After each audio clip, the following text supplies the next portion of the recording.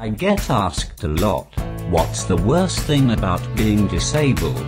Is it the shameless staring? Is it that people assume you're a bit thick because you don't speak? Or is it the fact that your friends always take you to theme parks just so they can jump the queues? I'm Lee Ridley, also known as the Lost Voice Guy, and I won last year's Britain's Got Talent, but, as you'll find out, I'm only in it for the parking.